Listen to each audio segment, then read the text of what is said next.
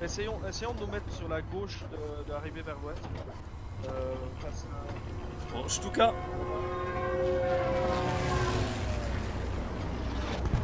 Oh putain, ça nous est passé derrière, on a eu du bol. On a été amoché. Hein. Il faut que tu te planques dans la haie et que je répare.